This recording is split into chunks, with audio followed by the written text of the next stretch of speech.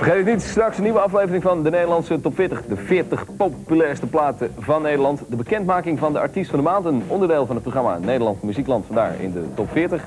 En uiteraard de nummer 1 met wat speciale gegevens over iemand die in de clip van de nummer 1 zit. Namelijk, oh nee, laat ik dat maar niet zeggen. Straks dus in de Top 40. Doe ik om het spannend te houden.